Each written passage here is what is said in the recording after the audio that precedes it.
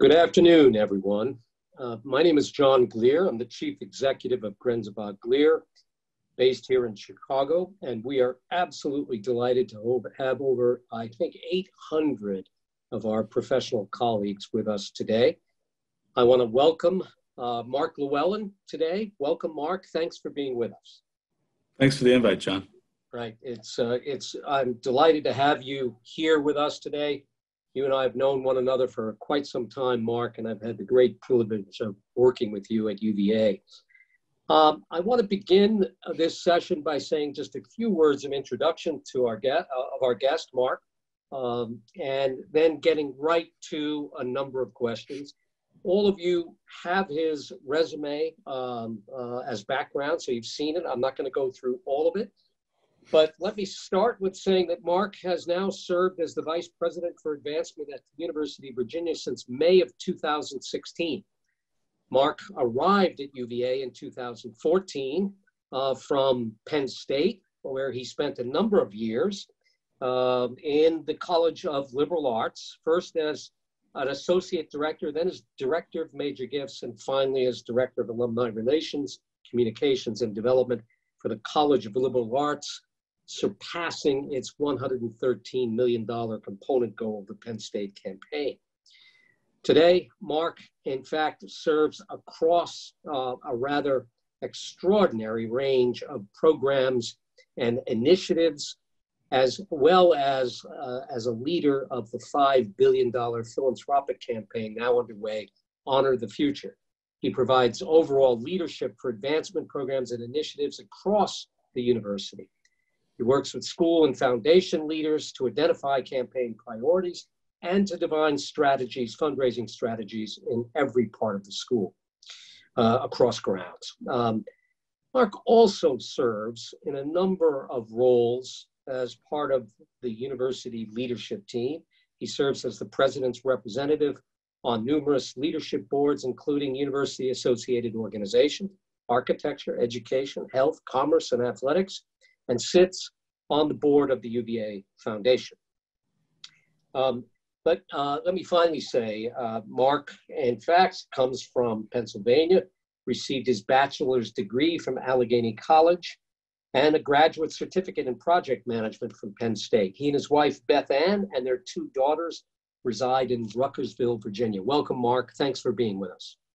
Thanks, John. Appreciate those kind words. All right. So uh, let's also say to everyone that Mark has very graciously agreed to take questions on our chat system.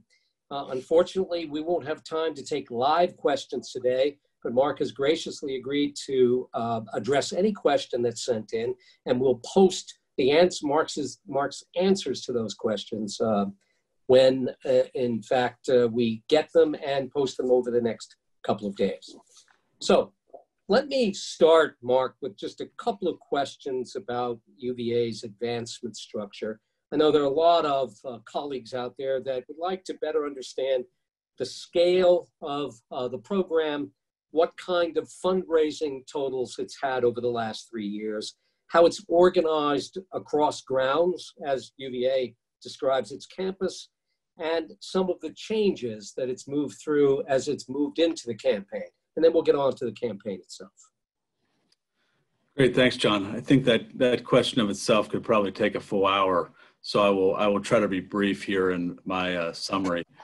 Um, in Virginia, our advancement operation is, is a little over 500 employees across the entire grounds, as John said, and that includes all support staff, alumni relations, professionals, development staff, you name it.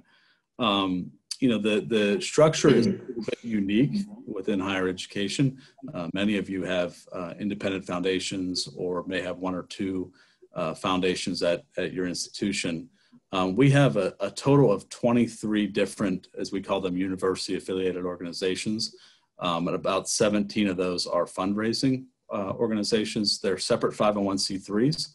Um, with, as John mentioned, a, a close connection and collaboration with the university uh, we sit on the president has a representative on each one of those foundations. So uh, it's, but it's also a, a, strong hybrid organization, is what I like to refer to it as, in the sense that we have a, a lot of great colleagues and structure and alumni engagement at the unit level through a number of the foundations. but also in, in central advancement as well. And, and that that's about an even split uh, budgetarily these days. Um, when you look at uh, the total enterprise, to answer John's question, our 10-year run rate at Virginia in total commitments is about 300, a little over 380 million dollars. Um, the last three years, due to the generosity of so many and our great team, our average run rate has has grown to be about 650 million in total commitments the last three years. So we did uh, 565 million three years ago, 850 last year, and uh, 530 this past year. Uh, so uh, very, very strong support from our alumni base across grounds. Really, uh, an interesting data point that that John has uh, likes to repeat often. Um, a lot of people around the ground support many different areas. I think one of the data points that John said, which is kind of unique to Virginia, is our average donor over $100,000 in lifetime giving typically supports about 13 areas of the university. So uh, important for collaboration and coordination across the enterprise uh, with all of our different groups. Um, you think about what's changed, I mean, there's a lot changed. We've had a great legacy and history of philanthropy at Virginia over the years, but I think there have been a, a couple key points in the last few years is, that have been helpful in the campaign. Um, one would be the point that I mentioned before about greater collaboration and coordination. Um, that has really been an area we've invested a lot of time in and a lot of resources as well to, to better link all the different areas of the university, which has been helpful in how we think about larger commitments, uh, which is my second point. Uh, larger commitments have, uh, have been more a regular occurrence at UVA in, re- in recent years. an example of that has been just endowed chairs as an example of that. Um, you know, we were probably averaging four or five endowed chairs a few years ago, and over the last couple years, we did about 100 endowed chairs uh, combined across the university, um, and also around centers and institutes and other other big ideas. So, um, so Mark, let me just interrupt you for a second. You've you've yeah. raised a really important issue. Some of these larger commitments that have come because of the campaign. We'll get on to the campaign in a minute. But yeah. talk about those endowed chairs and what helped generate those endowed chairs.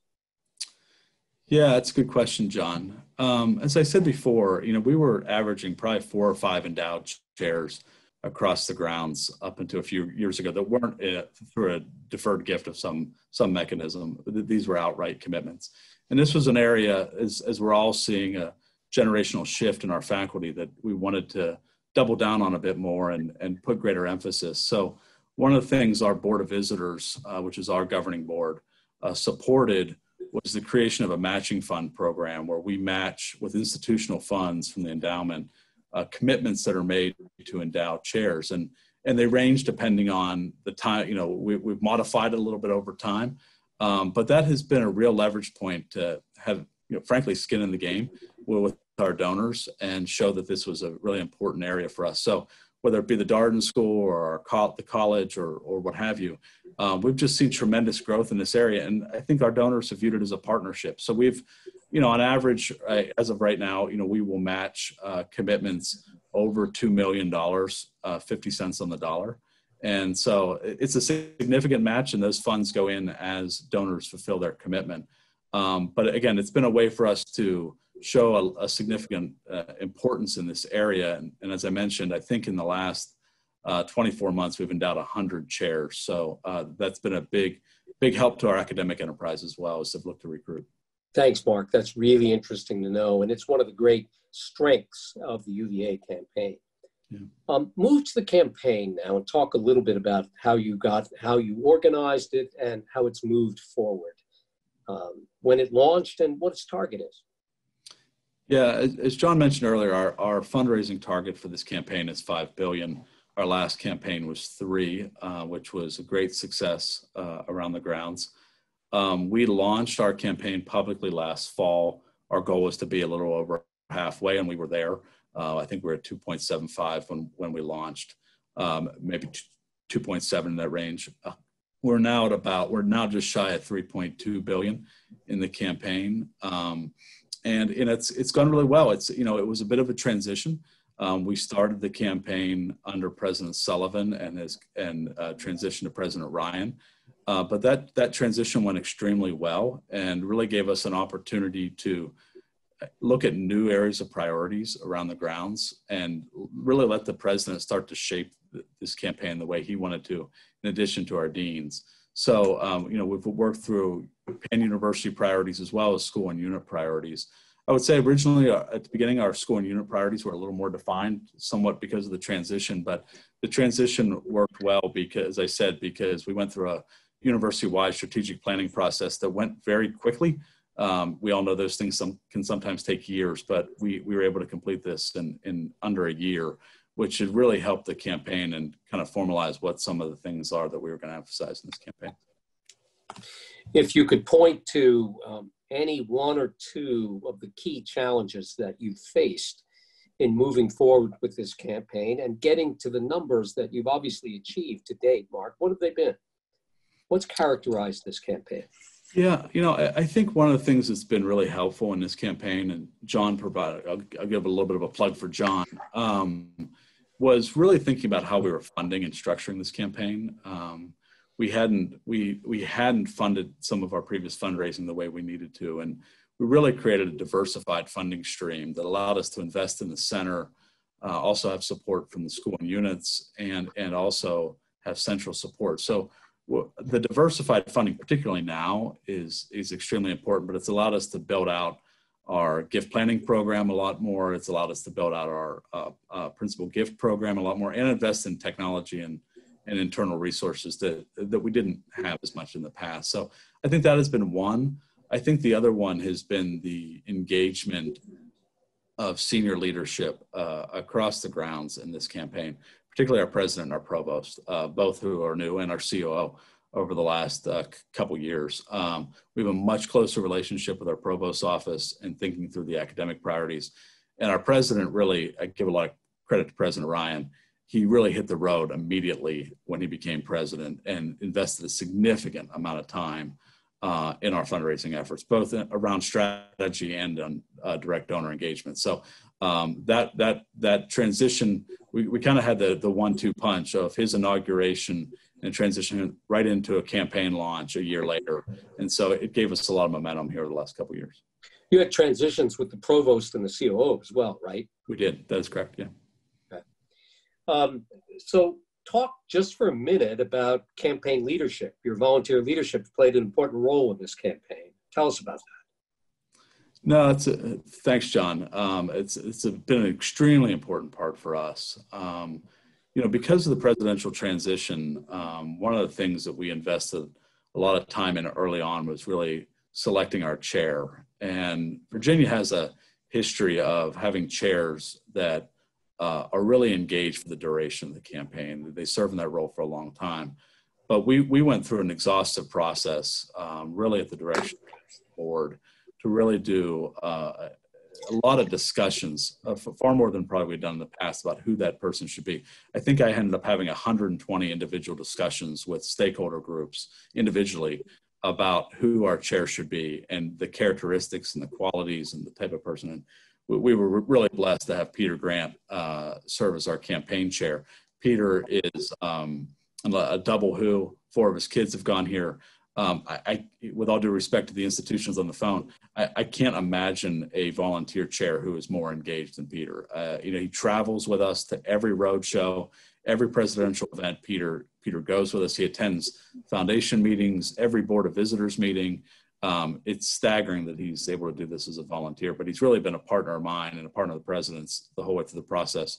Uh, but we also have a really strong campaign executive committee and uh, two honorary chairs, uh, Malcolm Brogdon uh, and Martha Karsh, who uh, have helped us in different constituency groups that we, in, from regional to athletics to what have you, that, that we didn't have in the past. And we recognize Martha's name from uh, Duke and Penn, where the Karsh family has been deeply involved in campaigns nationally. So, um, so before we actually turn to COVID and how your staff has pivoted, particularly in the midst of a campaign. Mark, uh, talk for a minute about a rather unique structure at UVA um, that uh, got established a number of years ago uh, by your predecessor, Bob Sweeney, and you have grown it and invested in it significantly, and that is the Office of Engagement.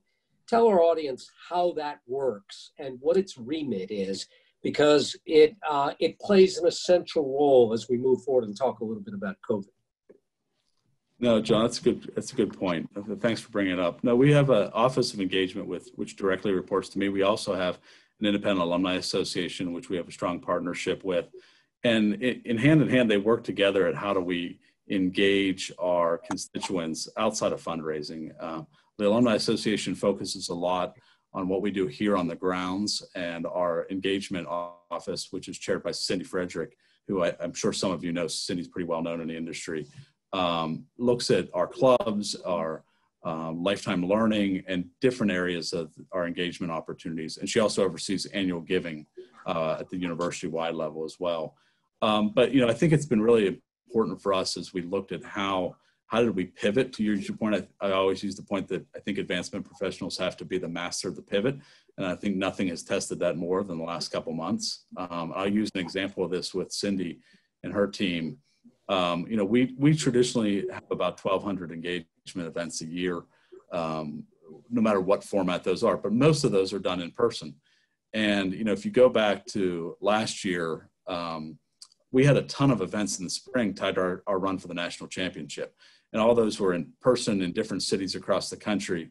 Um, what's staggering is we were able to do uh, actually engage more people this year, even though we're in a different environment and we aren't running for a national championship but it was it was all done virtually and cindy and her team did a did 158 events between march and the end of june and what was staggering about it is we actually engaged about 62,000 people who registered for different events. So it was really a great way for us. I mean, they went, they went to action right away, but it even goes further than that, John, which we'll hit on here in a minute, is really how everyone leaned in and and you know went above and beyond. I mean, we had staff assistants making calls. We had we actually used our phonathon not on outbound uh, solicitations because they weren't here, but in stewardship calls as a way to engage people. So we, we really used every possible arrow we had in our quiver to continue the momentum here over the last couple months. Yeah, so let me ask you about one. You had um,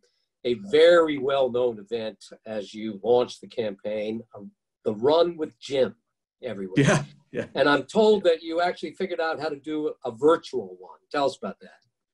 And no, tell us what the Run with Jim is. Yeah, so our, our new president uh, is a marathon runner and really enjoys running. And one of the things we thought that we could do was how could we engage the president with uh, stakeholders here in Charlottesville, but also uh, around the country as we traveled. And as I said before, the president spent a significant amount of time on the road with us. And so eh, on every trip that we would have, it started here just on grounds as a dare, uh, frankly, from one of our students to the president to say, hey, you want to run? Uh, I'd like to go for a run with you as part of my bucket list before I graduate. And the president responded in social media and said, anyone who wants to show up Tuesday morning at 7 a.m. and we'll go for a run. Well, that first morning we had about 150 people show up for a run. So we started taking that on the road. And so I, I never thought we would have a, someone who actually planned out routes for runs as part of our uh, road show, but we did. We actually have someone who goes and maps out a run route. And uh, you know, the morning after a big event, the president goes on a run, and it's really been a way to engage parents, it's a way to engage alums in just a more authentic and casual way. Um, and so they get T-shirts. We bring in uh, bagels from a local place in Charlottesville that everyone loves, and it's really been a fun event. So we looked in partnership with the president's office and Matt Weber, who is in the president's office, a good partner of ours, uh, looked at working with how to create a virtual run. So people all across the, the country could run and they could send in pictures. Um, the president, you know, took pictures along the way of his run across the grounds. And so it was a way to continue to do the same type of thing but have a lot of engagement over social media as people participate in their own way. That's great, Mark. Um, so let's go to COVID particularly. I know your staff scrambled just like everybody else. Any uh, comments or observations you would make um, as the as the team uh, adapted to the pandemic we've all been living with for the last four or five months? Yeah, yeah, it's it's a it's a good question, John. You know, I think that um, you know, everybody approached this around the country and around the world in different ways. And I don't, I'm not sure there's a right or wrong answer. You know, backs, others uh, looked at, you know, investing more. you know, I think one of the things we decided early on, especially after our students left, was how do we how do we lean in more and and uh, do a better job of tracking all of our outreach and really focus on relationships. And so, you know, I'm really proud of our team across the university. I think if there's been a time when we've collaborated more than ever, it's been it's been during this. And you know, I, I looked, I haven't looked in the last week, but I think uh, since early March uh, up until last week, I think we've documented over 60,000 individual outreaches to people. That could be a Zoom call, that could be a, a, phone call, it could be a text, but everyone did a really good job of documenting their activity and, and just reaching out and checking in on people. Um, but also opening up gift conversations as well. Um, obviously, we were sensitive to that. We did put a hold on the annual fund and outreach across the university in the early stages, but slowly brought that back. Um, wanting to make sure people were sensitive to how they had their outreach and what they wrote and who the messages came from, including from the president. But those, but we were really sensitive to it. But we still, we still pushed to get out there. And I have to say, if you would ask me in early March if we would have hit our target, which was half a million, half a billion dollars for the year, I, I would have been pretty skeptical. Um, but I have to say that not only did we hit it, but what was also really impressive was June is our usually our second highest month of the year. It's the last month in our fiscal year. And we were up in cash 20, almost 28% over last year. So I think some of that definitely is, is can be attributed to the hard work and outreach of the team, but also on the work we've done over the last couple years. You know, I think making sure that we're ramping up our conversations on major gifts and making sure those gifts are fulfilled um, has been important. And you know, I, I have to say, I think we we actually pledge reminders that gave people the opportunity to reach out to me directly if they needed to renegotiate their, their gift terms. And, and I haven't received one call. Um, I, I, think we've only renegotiated one or two total across the grounds and they were pretty small. So it's been, it's been staggering to see how our alums have responded, our parents have responded, but I think a, a large, uh, large recognition goes to the staff as, as I mentioned, both in engagement and also on the fundraising side of the operation. And, and I would be remiss if I the president. Um, you know, those 60,000 outreaches were a lot, but we had hundreds of individual outreaches from our president. So whether it be calling, texting, um, phone calls, you, you, name it, he did it. And I think we also did a, a series of leadership seminars, which built off our engagement, which were just the top donors, where we would bring the president in to be interviewed uh, by an alumnus, very private, 40, 50 people, like we would do in person. We did that with the provost, we did it with the head of the health system, we did it with our head football coach, we did it with the AD, um, we did it with our COO. So we've done it with a lot of people, and, and that's been really, really important. Uh, that's really quite extraordinary, Mark. So clearly, the momentum that the campaign had generated in 2019 going into 2020, you were able to sustain by pivoting to a far more proactive engagement posture. Let's talk about uh, the uncertainty that remains in front of us. We're all challenged by it. Um, tell us a little bit about your thinking, you and your team, about the coming year and the kinds of goals you're setting right now. Can you sustain this level? You got a you got a big chunk of campaign left in front of you. Um, what are you facing in the coming year?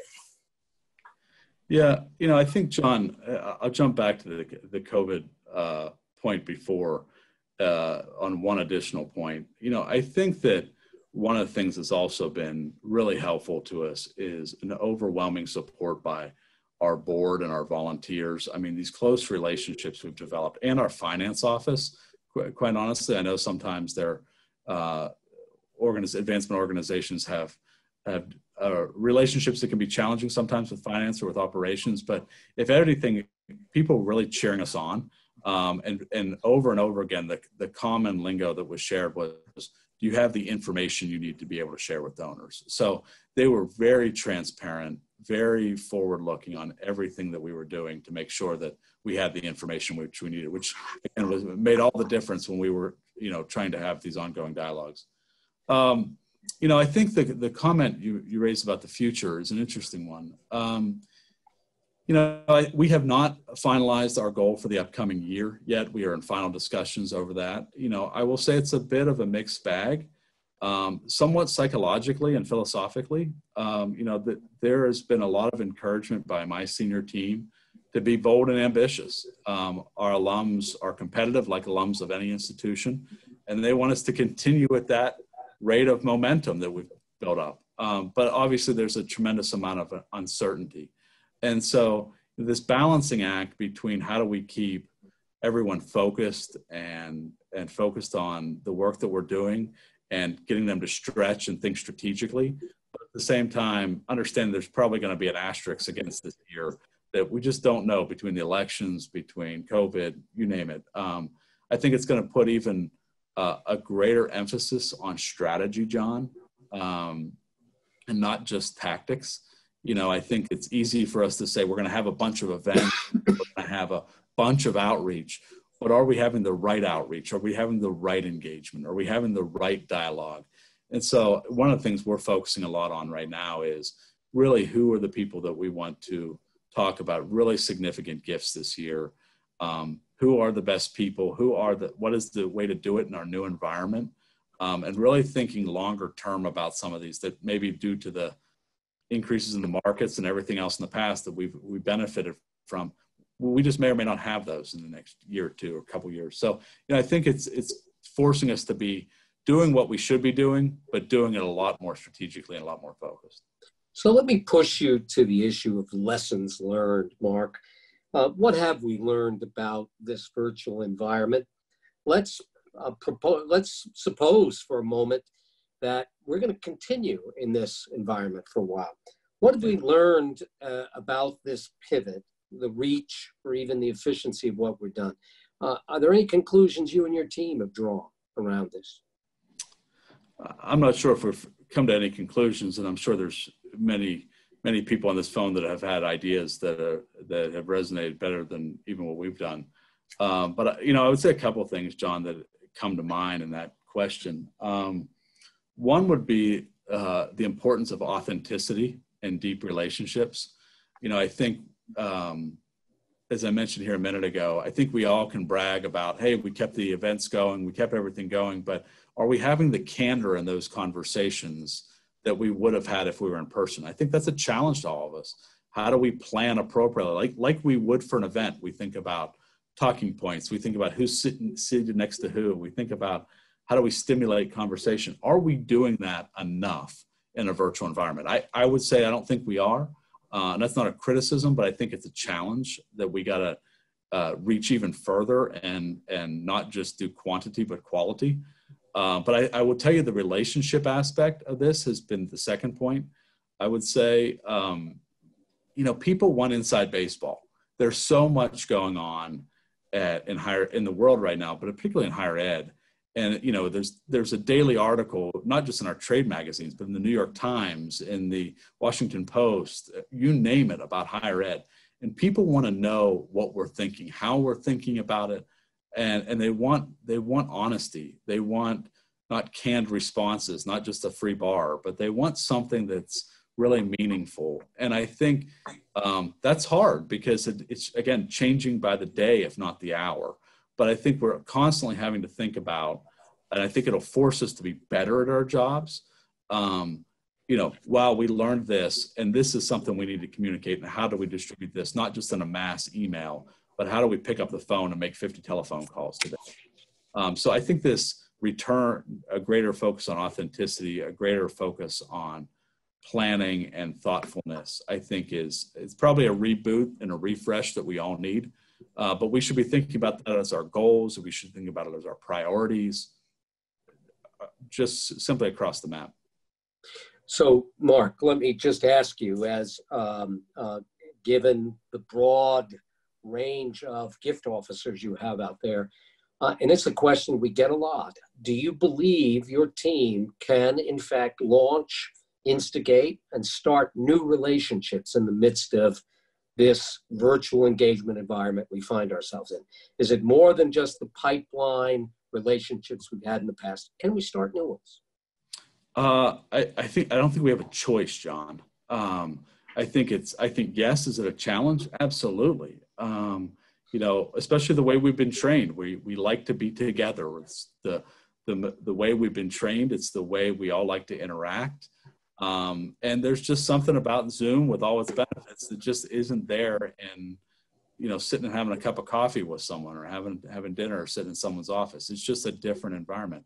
I think it's gonna. I think there's gonna. I think we're gonna have to be really creative, John, um, and not just look at wealth screenings or not just look at these type of things, but really think about how do we find that right nugget of information. You know, I, I'll just I'll share something we've been working on, which you're a little familiar with.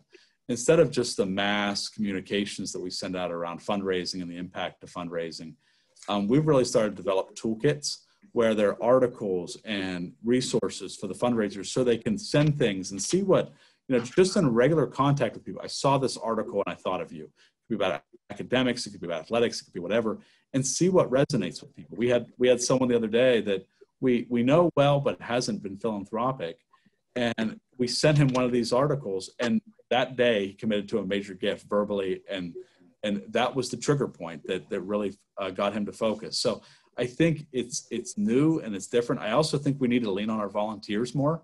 Um, you know, many of these people have 40 and 50 year marriages with the institution. They know people. They know who has made money in this environment, who has suffered in this environment. And I think we need to go back to grassroots a little bit and really lean on our volunteers to say, can you make these 10 introductions for me? So we're not just asking for money and we're not just asking for advice, but we're saying, who are the top five people you think I should be talking to? And are you willing to make introductions to them? I think it's, I think it's gotta be more grassroots than just simply cold calling it hot. Yeah, so Mark, that's terrific advice for our audience. Alas, we are out of time here, uh, and I knew it would go quickly. Um, thank you, Mark. Uh, this has been really splendid. I want to remind everybody who's still listening that we are happy to take questions. Uh, send them in. Um, and Mark has graciously agreed to answer them, and we will post them by tomorrow or, or the next couple of days, let me say. Um, also, feel free to reach out uh, uh, to Mark directly. Um, I'm sure he would welcome any questions. Uh, you can reach him clearly on LinkedIn uh, as well. Uh, do feel free to reach out to me as well on LinkedIn or even to my email address here at G, uh, GG&A. We're happy to be helpful in any way we can. But let me close by saying thank you once again to Mark uh, for being with us and sharing with us so directly some of your experience over the last uh, several years at UVA. Thank you, Mark. Thanks, John. glad, glad that anyone who has questions. Thanks. Uh, we welcome all questions. Thanks, everyone. Bye for now.